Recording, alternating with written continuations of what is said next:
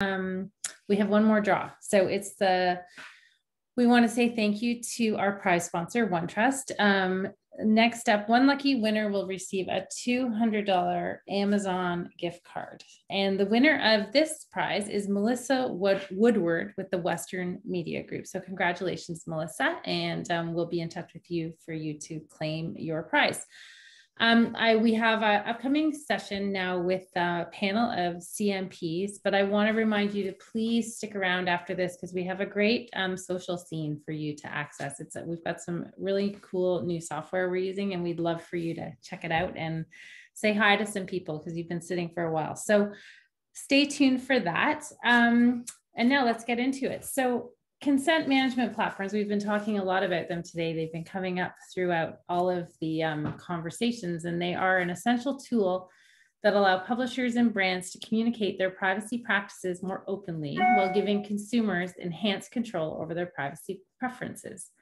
This key element of the ecosystem also links consumer choice to the ad tech universe. So with that said, I'm excited to be joined by represent representatives from three CMPs, all of them IAB Canada members, who are here to have a discussion on the rise of CMPs in Europe and why we should be paying attention to this important piece of ad tech here in Canada. With me today, I have Heinz Baumann, Head of Product, Privacy, and Identity at Quantcast, Arshdeep Sood, Marketing Solutions Engineer at OneTrust, and Jan Winkler, CEO of Consent Manager. So welcome everyone, and thank you so much for um, for joining me today. I've loved getting to know all of you over the past few months, and I'm excited to fire some questions at you and can't wait to hear what you have to say. So, first question. I'm gonna go to Heinz first with this one, but um, here it is. So we have all seen the cookie banner asking asking for user consent, and I think that this is what many of us think of when we hear the CMP acronym. Knowing that there is way more to your business than just the pop up, can you tell me a little bit more about your big picture overall service, service offering? So, what can partners expect to receive from the relationship with you? Sure. Well, first of all, well, thank you for inviting me here and uh, welcome uh, everybody to this panel.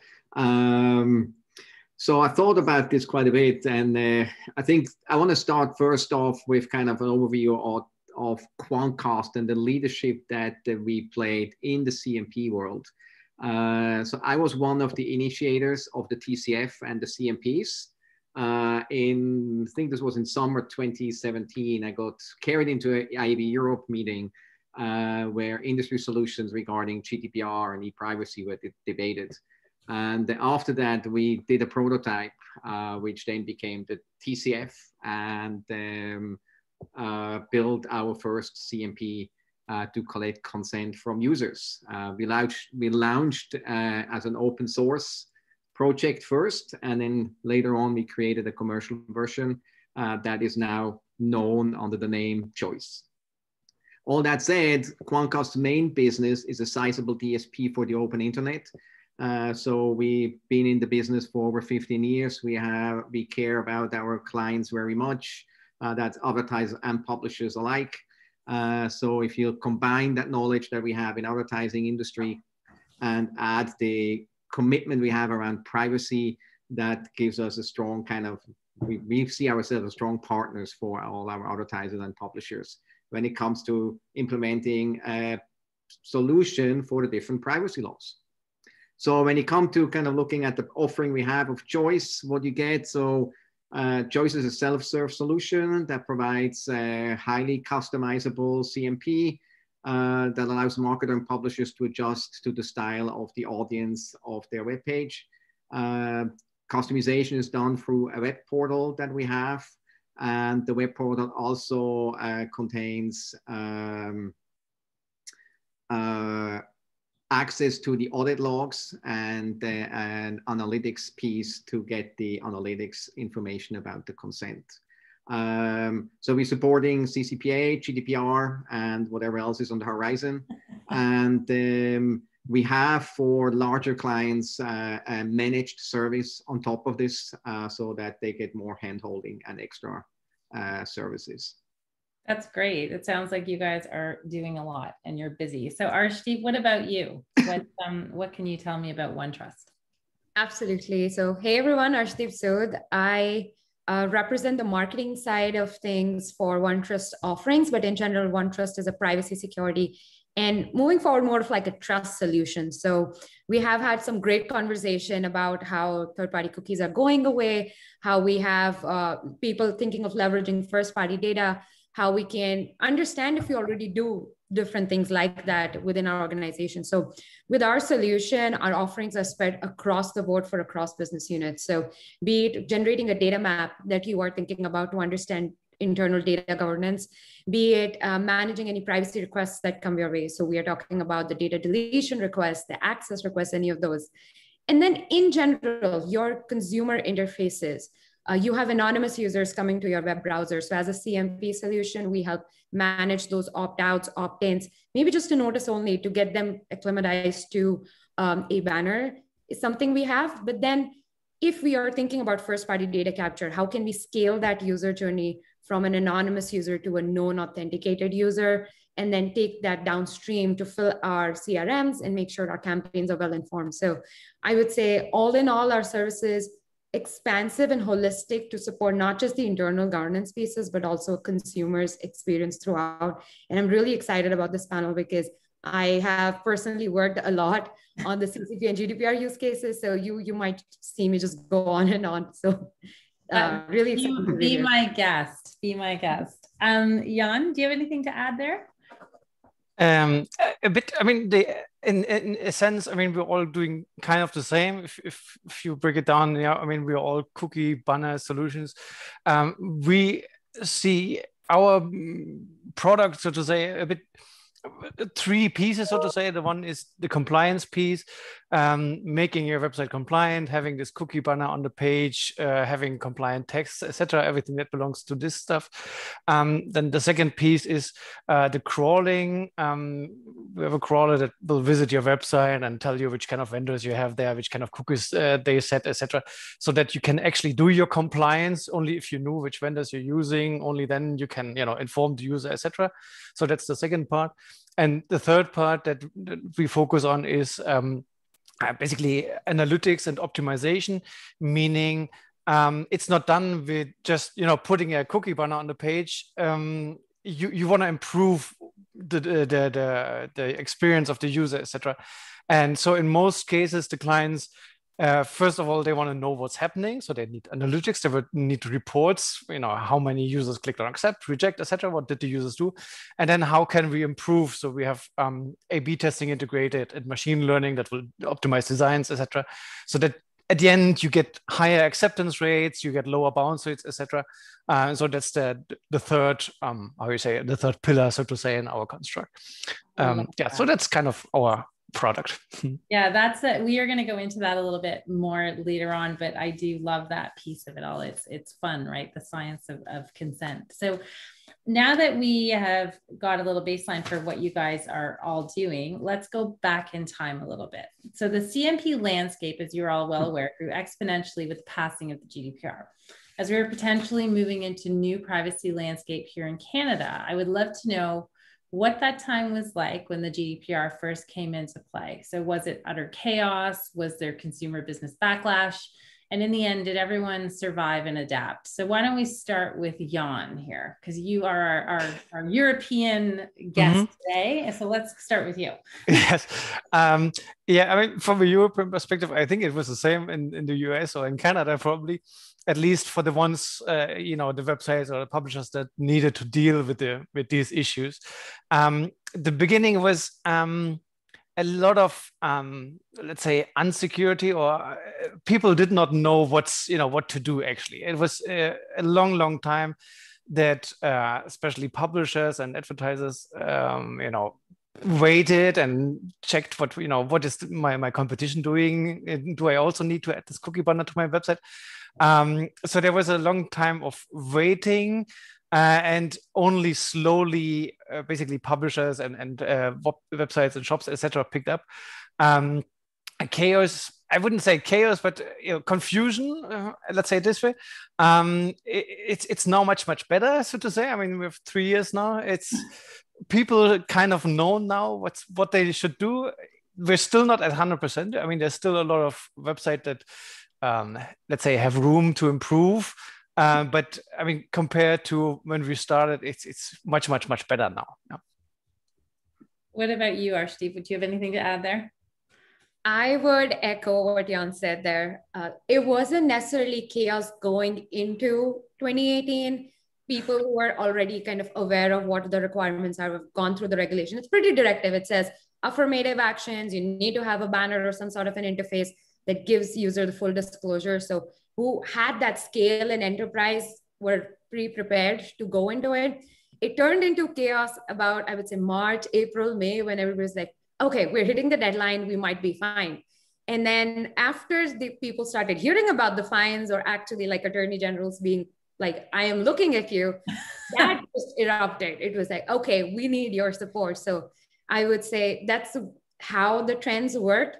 But I would definitely say over the past three years, people have gotten used to it. Data privacy has become such a topic in general. Um, even though I work for an organization who is providing privacy as a solution, as a consumer, I have become more aware because now iOS uh, and other devices, Google, third-party cookies going away. It's it's the news. It's the talk of the town. Everybody uses these platforms. So as consumers get aware, they have these expectations that as providers or solutions out there, as organizations, you would give me that disclosure, give me my rights to opt in or opt out of something. So over three years, I've seen people just getting so much better used to it. And even opt-in rates have significantly gone up to what you would have seen in 2018 to what you see today in 2021 without A-B testing as well. But now people are A-B testing just to like start out with great success. That's great to hear. And Heinz, do you have any any tidbits to add on to that? Yeah, I can just echo what was said. I think there was I think people were quite nervous at the beginning across the industry because, as Jan said, there was no solution. What are we going to do? I think, thankfully, I think under the leadership of IAB Europe, we actually figured out a solution and we put TCF in place and we created CMPs. And then we there was something there, but also I think to to um, echo this another point that I think uh, Jan said was the adoption was rather slow at the very beginning. You know, mm-hmm. when if you look at our curve that when we had the solution out, the first one out, and how many people were actually, you know, people are interested, but to, to pick it up, it was very flat. And then comes the May, where the deadline was the 25th, and it just skyrocketed up because suddenly everybody, shit, I need to have something, right? Uh, I think the, the good news for everybody here in the audience in Canada is that today we have a, a standard how to do this with TCF v2 it's very strong, healthy, widely adopted uh, across the industry. So this is a very good place. There's 100 and I think 60 different CMPs out there, if I'm not, if I'm not mistaken. So many, many of these CMPs available. They take care of whenever a change happens to the framework that this happened, that they put this in. So it's a no-brainer for the, or almost a no-brainer for the publishers and the advertisers who need to have a CMP. So I think there's a, it's a good position to be in three years later. Um, from That's where we, we were when we started. Saying. We keep saying to our members, you know, now's the time, right? Like don't don't be like Europe, but but we're we're getting there. So this is the point of this conversation today. So we know that consumers want more control over their consent and new laws like GDPR and CCPA and our potential CPPA give them that. But we also know that people don't like pop-ups and there's a disdain for the opt-in process. So how long would you say that it takes for consumers to get comfortable with this? Did you see a change in opt-in, opt-in rates from year over year, like from year one to year three? And did people sort of get used to it? Who wants to start? Let's start with Arshdeep. You go ahead on this one. Okay, for sure. So I have definitely seen things turn for the better over the years. Um, people who were prepared for GDPR had a much easier time for CCPA, especially because it offered the opt-out process for sale of personal information. So everybody loved it. Um, having said that, you would notice that with Apple itself, when they said that, hey, we will like we need people to say yes to these uh, these banners or the device settings that come through. There was about the last I read was there was about a 4% opt-in rate there versus an 11% in EU. So we already see that people in the EU are more comfortable because they know there, there's a value exchange added to it.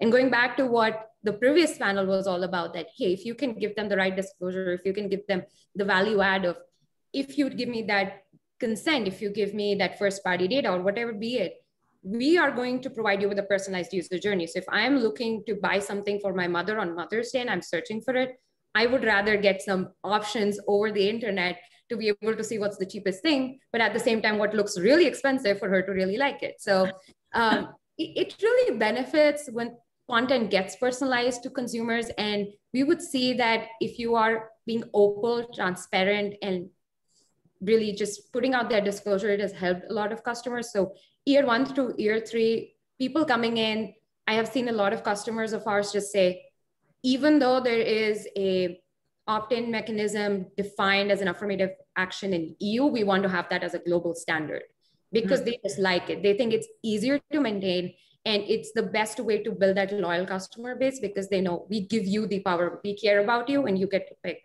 Um, similarly, for CCPA, I saw that even though it's very California directive and you could geo-target it, people are doing it for entirety of United States because they're like, we don't want to differentiate, we'll do it for everyone.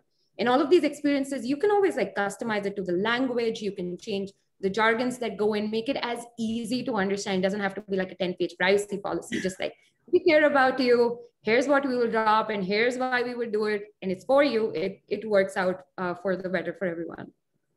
That's great. Um, Heinz, do you have anything to add there? Um, well, I think it's it's similar here. What I what what we see, um, you know, at the end of the day, the, the consumer doesn't really have a choice. They need to, they see the pop-ups, they need to do something. Uh, I had a funny quote I got uh, a while back from uh, the head of programmatic of an online gaming website in the UK. And he said his customer, they all hate the cookie pop-ups. Can you do something about this? Today they're not showing up. And then he said, you know, the good thing is that his users are all developed a new DNA, which is the moving the finger fast enough to the OK or accept button to get rid of it. Um, I think that is uh, kind of what people do when you ask around every meeting that I am, whether it's business or non-business, that something comes up like a cookie banner, everybody says the same word. Why are they there? And they know quickly go and dismiss it. Um, what we observed is um, over time, I think I agree what was said. We see kind of a, a an average of 85 plus percent uh, consent rate, sometimes as high than 98, depending on the page. And the other interesting thing is looking at kind of the age demographics uh, when uh, people are more concerned about privacy laws. It's kind of more in the older generation, 40 years and up. Uh, they are more cautious about this, and then we see a, a, a higher opt-out rate on pages that serve that kind of uh, um, demographics. Versus if you go to pages that are more targeted to his younger generation, you have an opt-in an opt-in rate to you know in the 90s or higher 90s. That's amazing. That's really interesting. Um, Jan, do you have any any little interesting findings there that you that you saw over mm. your career? The all findings. Uh, yeah, it's basically what the other two said. So uh, we see the same. Um, it started not low, but lower than today. Uh, we see a, a, a constant increase in, in acceptance rates, even you know on even if we just look at the same website we see that the users you know get used to the the, the consent layer um, the overall acceptance rate is is increasing um, so yeah, users get used to it. Um, what we also see is um, users tend to get uh, quicker with it, so it doesn't take them too much so much time to find the right button.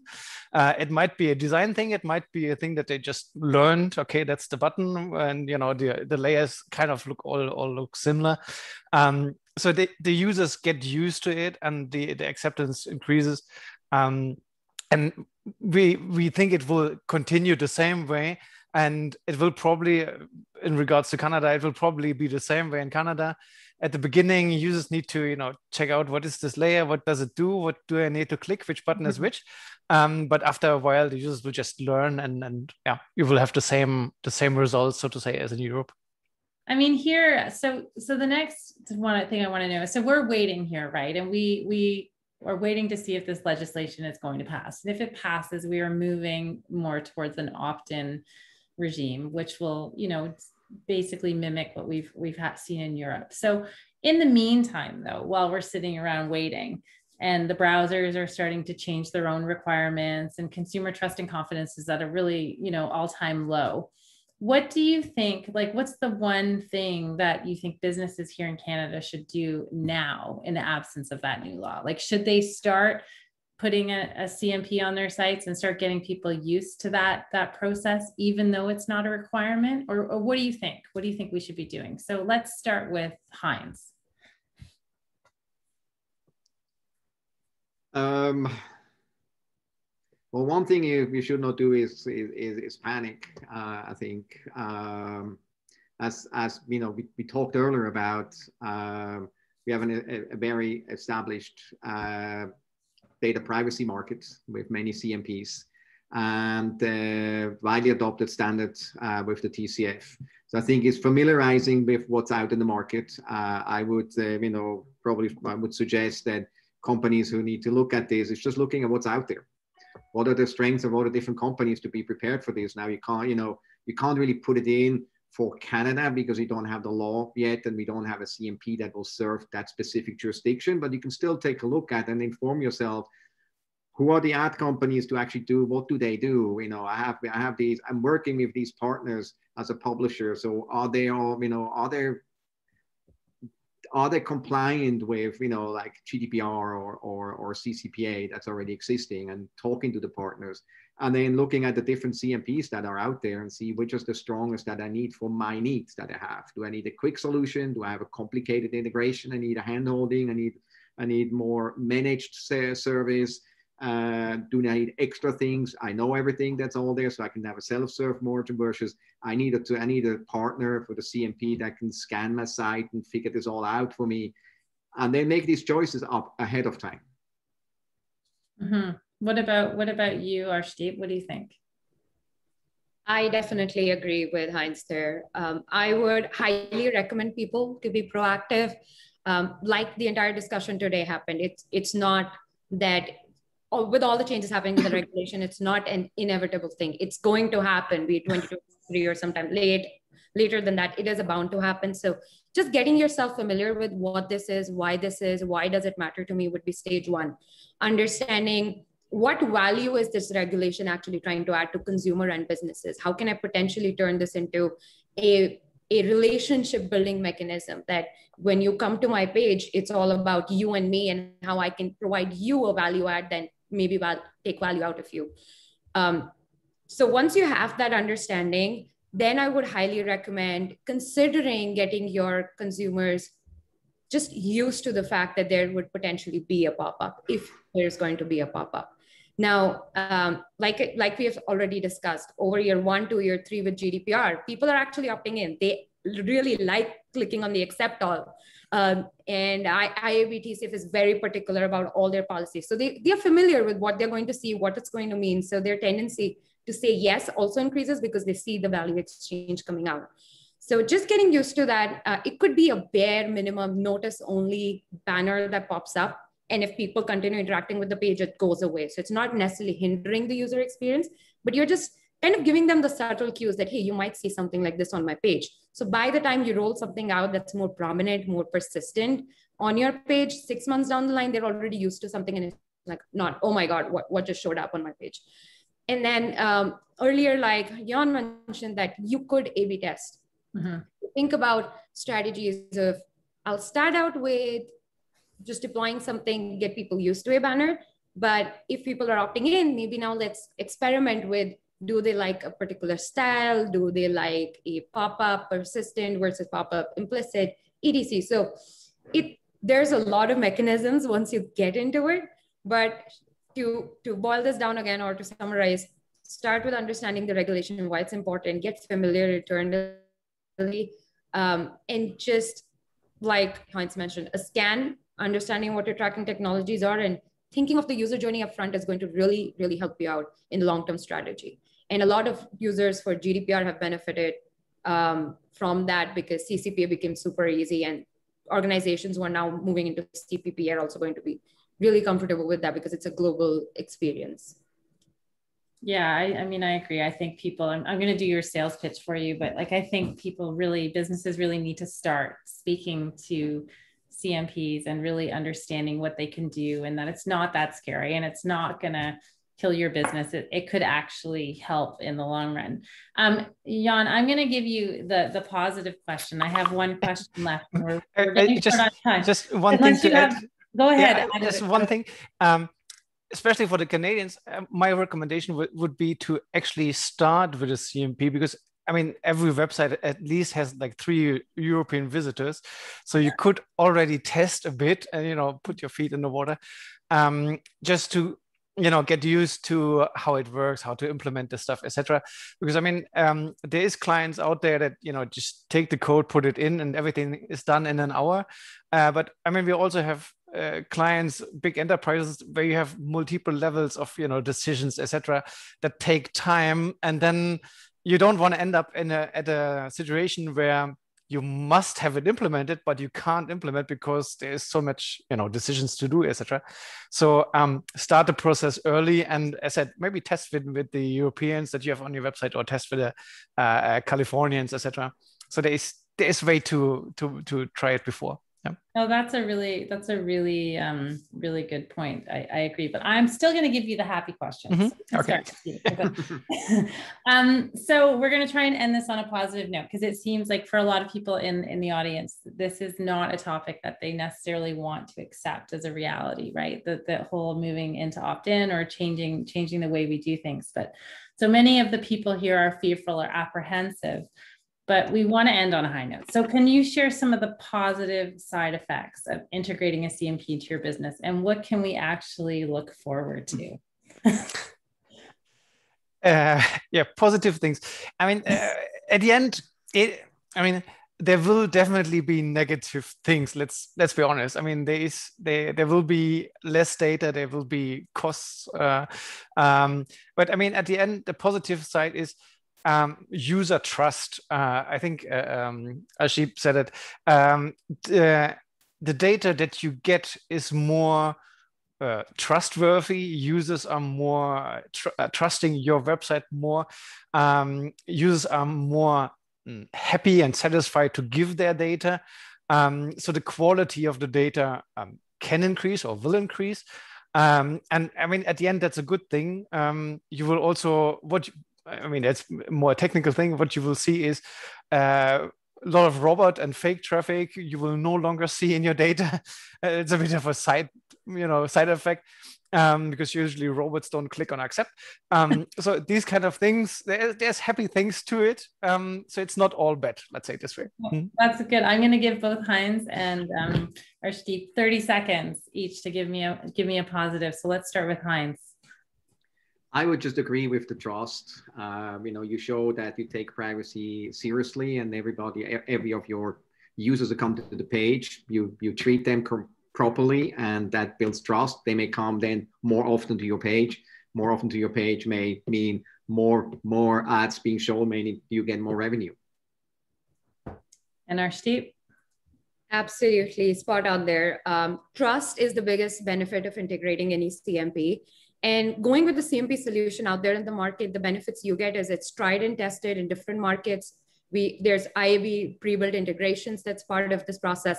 And along those lines, when you're thinking of different regulations or audiences, you might have French fluent audiences versus English or any other native language. There's all pre-built translations, um, part of those solutions. So the heavy lifting of what it should look like or what should we be doing? Or do we need to pull in ip or do we need to pull in legal? Or do we need to now sit and understand the entire IAB policy to make a compliant banner? Well we've got you covered there. So integrating with the cmp is going to just make things easier. And all you have to care about is your strategy going in that this is the user journey and these are the results we are looking for. So let's work together to get that.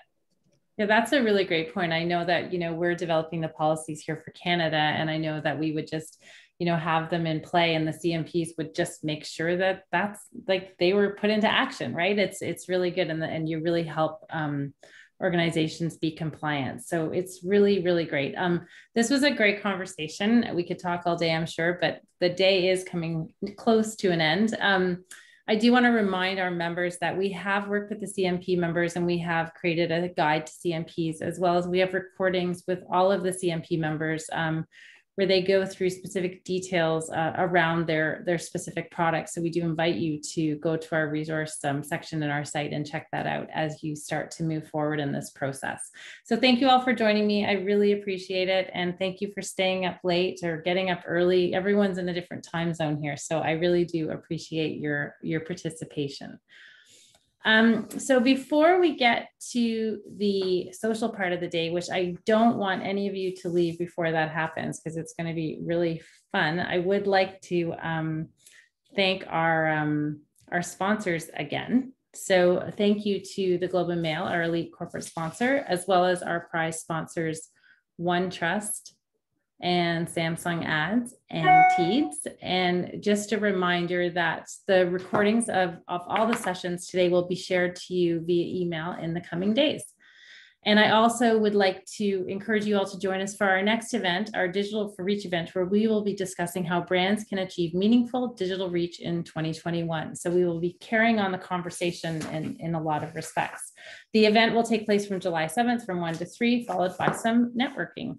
And for anyone who's here today who is not currently an IAB Canada member, if you want to um, join our community, please reach out to memberships at iabcanada.com as we would love to have you, have you join us. So now we are going to invite you to join us for some cross-country networking where we hope you will see some old friends and meet some new ones. So you have to open up Google Chrome, very important. The link is in the chat. Melanie has put it there. And if you can click on that link, turn on your camera and mic and create your bubble and drag it over and meet some friends and have a great time. Um, it's really cool. We hope you check it out and we can't wait to see you there. I'm going to go over there right now. So thanks for a great day and we'll see you in the park.